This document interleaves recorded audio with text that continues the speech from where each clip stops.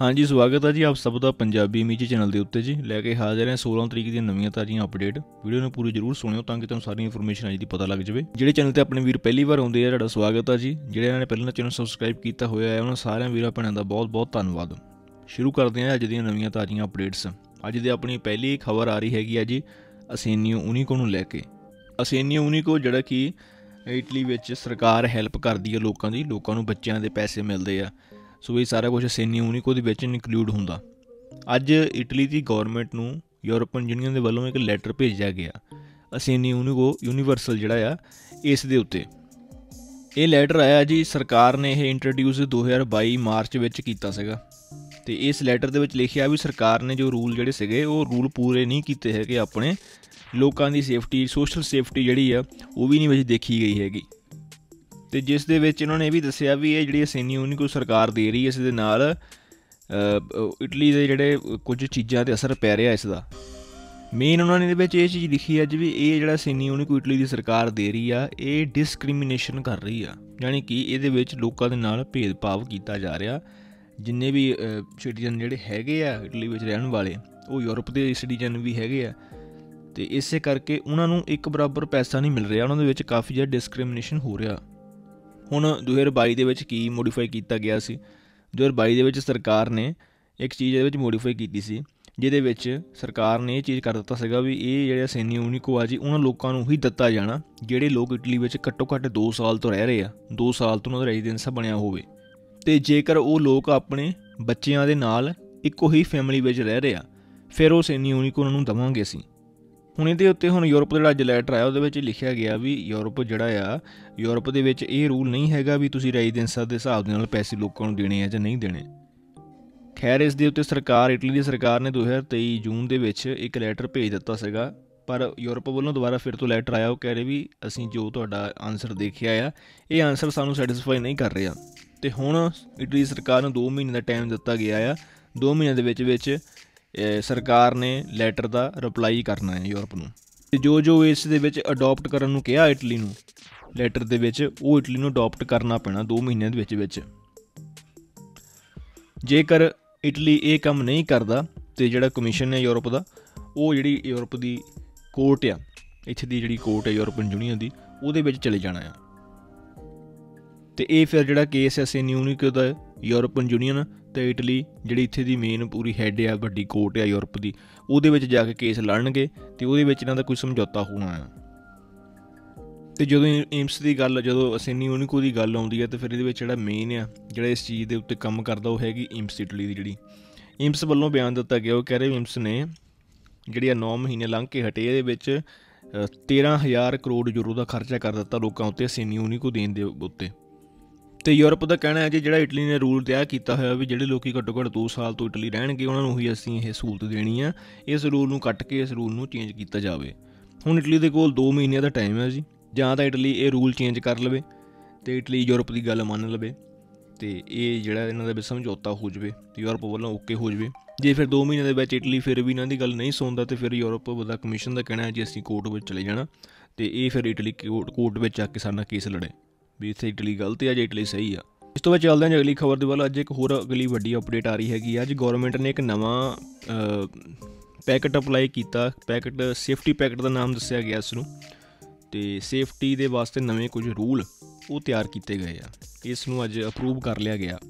ਹੁਣ ਇਹ ਕਿਹੜੀ ਚੀਜ਼ ਹੈ ਇਹਦੇ ਵਿੱਚ ਜੀ ਇੱਕ ਤਾਂ ਜਿਹੜਾ ਐਂਟੀ ਟੈਰਰਿਜ਼ਮ ਹੈ ਇਸ ਦੇ ਖਿਲਾਫ ਸਰਕਾਰ ਨੇ ਸਖਤਾਈ ਕਰਨੀ ਆਉਣ ਵਾਲੇ ਸਮੇਂ ਦੇ ਵਿੱਚ। ਜਿਹੜੇ ਬਜ਼ੁਰਗਾਂ ਦੇ ਨਾਲ ਤਰੂਫੇ ਹੋ ਰਹੇ ਆ, ਧੋਖੇ ਹੋ ਰਹੇ ਆ, ਉਹਨਾਂ ਦੇ ਨਾਲ ਇਹਦੇ ਵਿੱਚ ਵੀ ਸਰਕਾਰ ਨੇ ਅਪਡੇਟ ਦਿੱਤੀ ਹੈ। ਨਾਲ ਦੇ ਨਾਲ ਜਿਹੜੇ ਪੁਲਿਸ ਵਾਲੇ ਆ, ਉਹਨਾਂ ਵਾਸਤੇ ਵੀ ਨਵੀਂ ਅਪਡੇਟ ਆ। ਤੁਹਾਨੂੰ ਵਾਰੀ-ਵਾਰੀ ਦੱਸਦੇ ਆ ਕੀ ਕੀ ਨਵੀਂ ਅਪਡੇਟ ਹੈ ਇਹਦੇ ਵਿੱਚ। ਪਹਿਲੀ ਅਪਡੇਟ ਆਪਣੀ ਹੈਗੀ ਅੱਜ ਜਿਹੜੀ ਸਜ਼ਾ ਆ, ਉਸ ਨੂੰ ਲੈ ਕੇ ਸਜ਼ਾ ਸਖਤਾਈ ਕੀਤੀ ਗਈ। ਹੁਣ ਸਖਤਾਈ ਕੀ ਕੀਤੀ ਗਈ ਜੀ, ਇਟਲੀ ਵਿੱਚ ਅੱਜ ਕੱਲ ਕੀ ਚੱਲਦਾ ਪਿਆ, ਲੋਕੀ ਪੁਲਿਸ ਦੇ ਨਾਲ ਥੋਪਾਈ ਹੋ ਰਹੇ ਆ। ਹੁਣ ਆਉਣ ਵਾਲੇ ਸਮੇਂ ਦੇ ਵਿੱਚ ਜੇਕਰ ਕਿਸੇ ਪੁਲਿਸ ਵਾਲੇ ਦੇ ਸੱਟ ਝੂਟ ਲੱਗਦੀ ਆ ਜਾਂ ਕਿਸੇ ਏਜੰਟ ਦੇ ਨਾਲ ਕੋਈ ਬਹਿਸਬਾਜ਼ੀ ਕਰਦਾ ਤੇ ਉਸ ਦੇ ਨਾਲ ਕੁੱਟਮਾਰ ਕਰਨ ਦੀ ਕੋਸ਼ਿਸ਼ ਕਰਦਾ ਪੁਲਿਸ ਦੇ ਬੰਦੇ ਦੇ ਨਾਲ, ਤੇ ਉਸ ਨੂੰ ਫਿਰ 2 ਸਾਲ ਤੋਂ ਲੈ ਕੇ 5 ਸਾਲ ਤੱਕ ਦੀ ਜੇਲ੍ਹ ਹੋ ਸਕਦੀ ਆ। ਰੇਕਲੂਸੀਓਨੇ ਰੇਕਲੂਸੀਓਨੇ ਮਤਲਬ ਕਿ ਜੇਲ੍ਹ ਉਸ ਨੂੰ ਹੋ ਸਕਦੀ ਆ। ਜੇਕਰ ਹੁਣ ਪੁਲਿਸ ਵਾਲੇ ਸੱਟ ਜ਼ਿਆਦਾ ਲੱਗ ਜਾਵੇ ਜਾਂ ਕੋਈ ਉਹਦੀ ਜਾਨ ਚਲੇ ਜਾਵੇ, ਉਸ ਵਕਤ ਇਹ ਸਜ਼ਾ ਜਿਹੜੀ ਆ ਜੀ 4 ਸਾਲ ਤੋਂ ਲੈ ਕੇ 10 ਸਾਲ ਤੱਕ ਦੀ ਹੋ ਸਕਦੀ ਹੈ ਤੇ 8 ਸਾਲ ਤੋਂ ਲੈ ਕੇ 16 ਸਾਲ ਤੱਕ ਦੀ ਹੋ ਸਕਦੀ ਆ। ਇਹ ਸਜ਼ਾਵਾਂ ਹੁਣ ਵਧਾਤੀਆਂ ਗਈਆਂ। ਦੂਜੇ ਨੰਬਰ ਤੇ ਹੁਣ ਇੱਕ ਹੋਰ ਸਰਕਾਰ ਵੱਲੋਂ ਨਵਾਂ ਫੈਸਲਾ ਇਹ ਆਇਆ ਜੀ। ਅੱਜ ਕੱਲ ਕਈ ਐਸੇ ਲੋਕ ਆ ਜਿਹੜੇ ਸਰਕਾਰ ਦੀ ਬੇਨੀ ਮੋਬਿਲੀ ਹੁੰਦੇ ਜਾਂ ਬੇਨੀ ਮੋਬਿਲੀ ਹੁੰਦੇ, ਯਾਨੀ ਕਿ ਸਰਕਾਰ ਦੀਆਂ ਜਿਹੜੀਆਂ ਪ੍ਰਾਪਰਟੀਆਂ ਆ ਉਸ ਨੂੰ ਕਈ ਲੋਕ ਡੈਮੇਜ ਕਰਨ ਦੀ ਕੋਸ਼ਿਸ਼ ਕਰਦੇ ਆ। ਜਿੱਦਾਂ ਕਿ ਇਹਦੇ ਵਿੱਚ ਜਿਹੜੀਆਂ ਪੁਲਿਸ ਦੀਆਂ ਗੱਡੀਆਂ ਆ, ਉਹਨਾਂ ਨੂੰ ਵੀ ਕਈ ਲੋਕ ਡੈਮੇਜ ਕਰਨ ਦੀ ਕੋਸ਼ਿਸ਼ ਕਰਦੇ ਆ।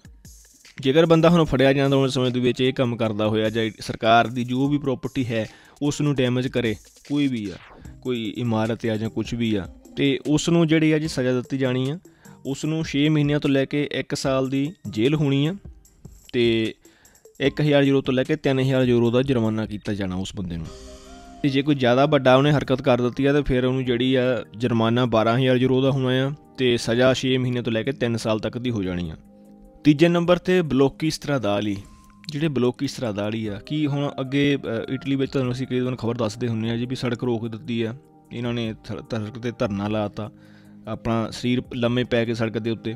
ਹੁਣ ਇਟਲੀ ਵਿੱਚ ਪਹਿਲਾਂ ਤਾਂ ਇਹ ਸੀਗਾ ਵੀ ਇਹਨਾਂ ਨੂੰ ਇੱਕ ਜੁਰਮਾਨਾ ਹੁੰਦਾ ਸੀਗਾ, ਜੁਰਮਾਨਾ ਦੇ ਕੇ ਛੁੱਟ ਜਾਂਦੇ ਸੀਗੇ, ਪਰ ਹੁਣ ਜੁਰਮਾਨਾ ਦੇ ਕੇ ਨਹੀਂ ਛੁੱਟ ਸਕਦੀ, ਨਾ ਉੱਤੇ ਹੁਣ ਪ੍ਰੋਪਰ ਕੇਸ ਬਣੇਗਾ, ਕਿਉਂਕਿ ਇਹ ਆਪਣੀ ਵੀ ਜਾਨ ਰਿਸਕ ਵਿੱਚ ਪਾਉਂਦੇ ਆ ਲੋਕ ਤੇ ਦੂਜਿਆਂ ਦੀ ਜਾਨ ਵੀ ਰਿਸਕ ਵਿੱਚ ਪਾਉਂਦੇ ਆ। ਸੋ ਇਸ ਕਰਕੇ ਹੁਣ ਆਉਣ ਵਾਲੇ ਸਮੇਂ ਦੇ ਵਿੱਚ ਜਿਹੜੇ ਲੋਕ ਇਹ ਕੰਮ ਕਰਨ ਦੀ ਕੋਸ਼ਿਸ਼ ਕਰਨਗੇ, ਉਹਨਾਂ ਉੱਤੇ ਜੁਰਮਾਨਾ ਤੇ ਜਿਹੜਾ ਹੋਣਾ ਆ, ਨਾਲ ਦੀ ਨਾਲ ਪੁਲਿਸ ਬਾਕੀ ਕਾਰਵਾਈ ਜਿਹੜੀ ਆ, ਜੋ ਇਟਲੀ ਦਾ ਲੇਜੇ ਕਹਿੰਦਾ, ਉਸ ਹਿਸਾਬ ਦੇ ਨਾਲ ਕੀਤੀ ਜਾਣੀ। ਚੌਥੇ ਨੰਬਰ ਤੇ ਜਿਹੜੇ ਪੁਲਿਸ ਵਾਲੇ ਆ, ਪੁਲਿਸ ਵਾਲਿਆਂ ਨੂੰ ਹੁਣ ਨਵੀਆਂ ਹਥਿਆਰ ਦਿੱਤੇ ਜਾਣਗੇ। ਹੁਣ ਇਟਲੀ ਦੇ ਵਿੱਚ ਜਿਹੜੇ ਪਬਲਿਕ ਏਜੰਟ ਪੁਲਿਸ ਵਾਲੇ ਆ, ਉਹ ਆਪਣੇ ਕੋਲ ਹਥਿਆਰ ਜਿਹੜਾ ਉਹਨਾਂ ਦੇ ਪਿਸਤੌਲ ਹੁੰਦੀ ਹੈ ਇੱਕ। ਜਿਸ ਵਕਤ ਉਹ ਕੰਮ ਤੇ ਡਿਊਟੀ ਹੁੰਦੀ ਉਹਨਾਂ ਦੀ, ਉਸ ਟਾਈਮ ਤੱਕ ਉਹਨਾਂ ਦੇ ਕੋਲ ਹਥਿਆਰ ਹੁੰਦਾ, ਕੰਮ ਤੋਂ ਬਾਅਦ ਫਿਰ ਹਥਿਆਰ ਉਹਨਾਂ ਦੇ ਕੋਲ ਨਹੀਂ ਹੁੰਦਾ। ਪਰ ਹੁਣ ਸਰਕਾਰ ਨੇ ਕੀ ਕਿਹਾ ਜੀ ਜਿਹੜਾ ਆਰਟੀਕਲ 42 ਹੈ, ਉਸ ਆਰਟੀਕਲ 42 ਜਿਹੜੀ ਲੇਜੀ ਦੀ ਪਬਲਿਕ ਸਿਕਿਉਰਿਟੀ ਆ ਉਹਦੇ ਵਿੱਚ ਦੇਖ ਰਹੇ ਤੋਂ 18 ਜੂਨੀਓ 1931 ਨੰਬਰ 777 ਇਸ ਦੇ ਹਿਸਾਬ ਦੇ ਨਾਲ ਬਿਨਾਂ ਲਾਇਸੈਂਸ ਤੋਂ ਵੀ ਜਿਹੜੇ ਪੁਲਿਸ ਵਿੱਚ ਵਰਕਰ ਕੰਮ ਕਰਦੇ, ਉਹ ਆਪਣੇ ਕੋਲ ਹਥਿਆਰ ਰੱਖ ਸਕਦੇ ਆ ਯਾਨੀ ਕਿ ਆਫ ਡਿਊਟੀ ਵੀ ਉਹਨਾਂ ਦੇ ਕੋਲ ਹੁਣ ਹਥਿਆਰ ਹੋਣਾ ਆ। ਹੁਣ ਇਹ ਜਿਹੜੇ ਵੱਡੇ ਮਿਨਿਸਟਰ ਵੱਡੇ ਲੈਵਲ ਦੇ ਹੁੰਦੇ ਜਿੱਦਾਂ ਕਿ ਜਿਹੜਾ ਪੁਲਿਸ ਦਾ ਹੈੱਡ ਹੋਵੇ, ਜਿਹੜੇ ਪ੍ਰਫੈਤੀ ਹੁੰਦੇ ਆ ਵਿਚੇ ਪ੍ਰਫੈਤੀ ਜਿਹੜੇ ਕਿ ਪ੍ਰਫਤਰ ਵਿੱਚ ਕੰਮ ਕਰਦੇ ਆ, ਇਦਾਂ ਜਿਹੜੇ ਵੀ ਇਹ ਵਾਲੇ ਪੁਲਿਸ ਆ ਹੋਰ ਜਿਹੜੇ ਇਨਸਪੈਕਟਰ ਜਿਹੜੇ ਹੁੰਦੇ ਆ, ਜਿਹੜੇ ਅਫੀਸ਼ੀਅਲੀ ਹੁੰਦੀ ਪਬਲਿਕ ਸਿਕਿਉਰਿਟੀ ਪਬਲਿਕ ਸੇਫਟੀ ਦੇ ਵਿੱਚ ਜਿਹੜੇ ਕੰਮ ਕਰਦੇ ਆ। ਇਹ ਹੁਣ ਜਿੰਨੇ ਵੀ ਇਸ ਤਰ੍ਹਾਂ ਦੇ ਕੰਮ ਕਰਨ ਵਾਲੇ ਵਰਕਰਸ ਹੈਗੇ ਆ ਜੀ, ਪੁਲਿਸ, ਇਹਨਾਂ ਦੇ ਕੋਲ ਹੁਣ ਬਿਨਾਂ ਲਾਇਸੈਂਸ ਤੋਂ ਵੀ ਹਥਿਆਰ ਰਹੇਗਾ। ਹੁਣ ਜਿਹੜੀ ਪਿਸਤੌਲ, ਜਿਹੜੀ ਪੁਲਿਸ ਦੇ ਕੋਲ ਹੁੰਦੀ ਆ ਜੀ, ਉਹ ਪਿਸਤੌਲ ਵੱਡੀ ਹੁੰਦੀ ਆ ਤੇ ਭਾਰੀ ਵੀ ਹੁੰਦੀ ਆ ਤੇ ਉਹ ਦਿਖਦੀ ਵੀ ਆ, ਕਿਉਂਕਿ ਉਹਦਾ ਸਾਈਜ਼ ਵੱਡਾ ਹੁੰਦਾ ਪਿਸਤੌਲ ਦਾ। ਜਿਹੜੀ ਹੁਣ ਬਿਨਾਂ ਲਾਇਸੈਂਸ ਤੋਂ ਜਿਹੜੀ ਛੋਟੀ ਪਿਸਤੌਲ ਆ ਜੀ ਇਹ ਜਿਹੜੇ ਜਿਸ ਵਕਤ ਉਹ ਪਿਸਤੌਲ ਫੁੱਲ ਹੁੰਦੀ ਆ ਤੇ ਉਹਦਾ ਮੈਕਸਿਮਮ ਪਾਰ 1 ਕਿਲੋ ਦੇ ਕਰੀਬ ਹੁੰਦਾ। ਬਰੇਤਸ 92 ਐਫਐਸ ਇਹ ਹੁਣ ਪੁਲਿਸ ਵਾਲੇ ਜਿੰਨੇ ਵੀ ਤੁਹਾਨੂੰ ਆਪਾਂ ਦੱਸਿਆ, ਪਹਿਲਾਂ ਆਪਣੇ ਕੋਲ ਰੱਖ ਸਕਦੇ ਆਫ ਡਿਊਟੀ ਵੀ। ਇਸ ਤੋਂ ਬਾਅਦ ਅਗਲੇ ਹੈਗੇ ਆ ਜੀ, ਜਿਹੜੇ ਲੋਕੀ ਸਿਆਣਿਆਂ ਬਜ਼ੁਰਗਾਂ ਦੇ ਨਾਲ ਧੋਖੇਬਾਜ਼ੀ ਕਰਦੇ ਆ, ਤਰੂਫੇ ਕਰਦੇ ਉਹਨਾਂ ਦੇ ਨਾਲ। ਹਰ ਸਾਲ ਇੱਥੇ ਕਈ ਜਿਹੜੇ ਸਿਆਣੇ ਬਜ਼ੁਰਗ ਉਹਨਾਂ ਨਾਲ ਠੱਗੀਆਂ ਲਾਈਆਂ ਜਾਂਦੀਆਂ। ਉਹਨਾਂ ਲੋਕਾਂ ਨੂੰ ਹੁਣ 2 ਤੋਂ ਲੈ ਕੇ 6 ਸਾਲ ਦੀ ਜੇਲ੍ਹ ਹੋ ਸਕਦੀ ਹੈ, ਜੇਕਰ ਬੰਦਾ ਫੜਿਆ ਜਾਂਦਾ 700 ਤੋਂ ਲੈ ਕੇ 3000 ਯੂਰੋ ਤੱਕ ਦਾ ਜੁਰਮਾਨਾ ਭਰਨਾ ਪੈਣਾ। ਤੇ ਉਸ ਤੋਂ ਅੱਗੇ ਜੇ ਜਿਹੜੇ ਆਕੂਪੇਸ਼ਨੀ ਅਬੂਜ਼ੀਵੇ ਹੁੰਦੇ ਜਾਨੀ ਕਿ ਧੱਕੇ ਦੇ ਨਾਲ ਹੀ ਜਿਹੜੇ ਲੋਕੀ ਕਬਜ਼ਾ ਕਰ ਲੈਂਦੇ ਕਿਸੇ ਦੇ ਘਰ ਦੇ, ਤੁਸੀਂ ਘਰ ਕਿਰਾਏ ਦਿੱਤਾ, ਅਗਲੇ ਨੇ ਅੱਗੇ ਉਹ ਕਬਜ਼ਾ ਕਰ ਲਿਆ, ਹੁਣ ਘਰ ਤੋਂ ਨਿਕਲਦੇ ਨਹੀਂ ਪਏ।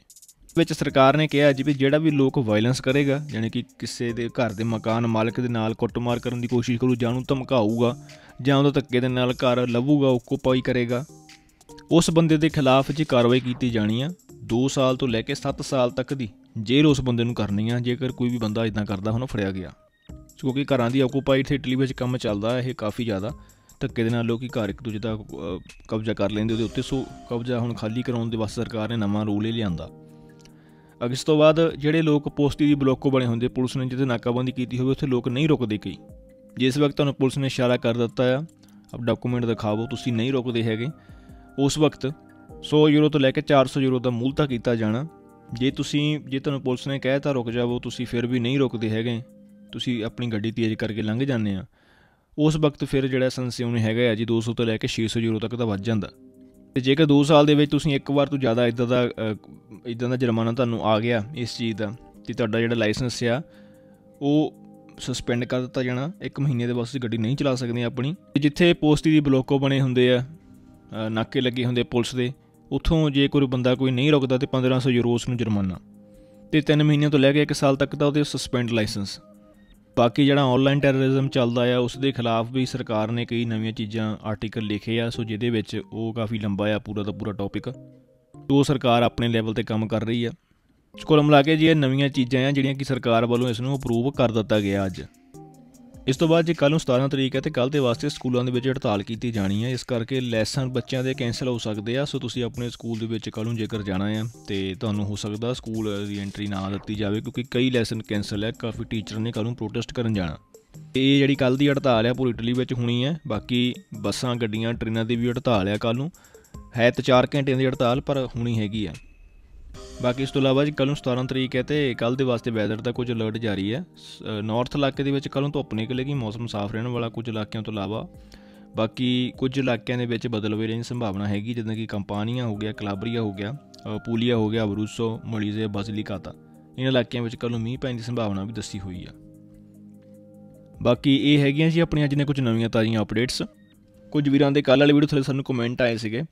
ਜਿਹਦੇ ਵਿੱਚ ਪ੍ਰਵੀਨ ਕੁਮਾਰ ਭਾਈ ਦਾ ਕਮੈਂਟ ਆਇਆ ਸੀ, ਉਹ ਕਹਿੰਦੇ ਸੀ, ਭਾਜੀ, ਸਾਡੇ ਪੇਪਰ ਅਸੀਂ ਮਾਰਚ ਵਿੱਚ ਆਪਣੇ ਅਪਲਾਈ ਕੀਤੇ ਸੀ ਫਿਲ ਕੀਤੇ ਸੀਗੇ ਤੇ ਸਾਡੇ ਪੇਪਰ ਹੁਣ ਨਿਕਲ ਆਏ ਆ ਵਿਰੋਨਾ ਦੇ ਵਿੱਚ। ਇਸ ਤੋਂ ਇਲਾਵਾ ਇੱਕ ਹੋਰ ਵੀਰ ਦਾ ਮੈਸੇਜ ਆਇਆ ਸੀ ਇਹਨਾਂ ਨੇ 27 ਮਾਰਚ ਵਾਲੇ ਹੀ ਪੇਪਰ ਭਰੇ ਸੀਗੇ ਤੇ ਉਹਨਾਂ ਦੇ 8 ਨਵੰਬਰ ਨੂੰ ਉਹ ਪੇਪਰ ਨਿਕਲੇ, ਯਾਨੀ ਕਿ ਪਿਛਲੇ ਹਫ਼ਤੇ। ਇਸ ਤੋਂ ਬਾਅਦ ਜੀ ਅਗਲੀ ਅਪਡੇਟ ਇਹ ਹੈ ਕਿਸੇ ਵੀਰ ਦੇ ਕਮੈਂਟ ਸੀ, ਉਹ ਕਹਿੰਦੇ ਸੀ, ਭਾਜੀ ਜਿਹੜੀ ਇਟਲੀ ਨੇ ਅਲਬਾਨੀਆ ਲੈਣ ਦੀ ਗੱਲ ਕੀਤੀ ਵੀ ਅਲਬਾਨੀਆ ਸ਼ਿਫਟ ਕਰਨੇ ਬੰਦੇ, ਉਹ ਕਿਹੜੇ ਬੰਦੇ ਜਿਹੜੇ ਸ਼ਿਪ ਰਾਹੀਂ ਆ ਰਹੇ ਜਾਂ ਜਿਹੜੇ ਦੂਸਰੀ ਤਰ੍ਹਾਂ ਡੋਂਕੀ ਲਾ ਕੇ ਆ ਰਹੇ ਆ? ਜਿਹੜੇ ਸ਼ਿਪ ਰਾਹੀਂ ਆ ਰਹੇ ਆ ਜੀ, ਜਿਹੜੇ ਅਫਰੀਕਾ ਤੋਂ ਲਗਾਤਾਰ ਇੱਥੇ ਤੁਨੀਜ਼ੀਆ ਤੋਂ ਬੰਦੇ ਆਉਂਦੇ ਆ ਹਰ ਰੋਜ਼, ਸੋ ਉਹਨਾਂ ਨੂੰ ਸ਼ਿਫਟ ਕਰਨ ਦੀ ਸਰਕਾਰ ਸੋਚ ਰਹੀ ਆ। ਬਾਕੀ ਇਲੀਗਲ ਬੰਦਿਆਂ ਦੀ ਗੱਲ ਕੀਤੀ ਇਲੀਗਲ ਵਿੱਚ ਸਾਰੇ ਜਾਣੇ ਇਲੀਗਲ ਹੀ ਹੁੰਦੇ ਆ। ਸੋ ਜਿਹੜਾ ਵੀ ਸਰਕਾਰ ਦੇ ਹੱਥ ਆ ਜਾਵੇ, ਸਰਕਾਰ ਨੇ ਉੱਥੇ ਪਹੁੰਚਾ ਦੇਣਾ ਆ। ਸੋ ਬਾਕੀ ਹੈਗੇ ਜੀ, ਆਪਣੀ ਅੱਜ ਦੀਆਂ ਕੁਝ ਨਵੀਆਂ ਤਾਜ਼ੀਆਂ ਅਪਡੇਟ ਮਿਲਦੇ ਆਂ। ਕੱਲ ਦੀਆਂ ਖਬਰਾਂ ਨਾਲ ਆਪਣੇ ਆਪਣੇ ਪਰਿਵਾਰ ਦਾ ਖਿਆਲ ਰੱਖਿਓ। ਤਦ ਲਈ ਸਾਰਿਆਂ ਦਾ ਬਹੁਤ ਬਹੁਤ ਧੰਨਵਾਦ।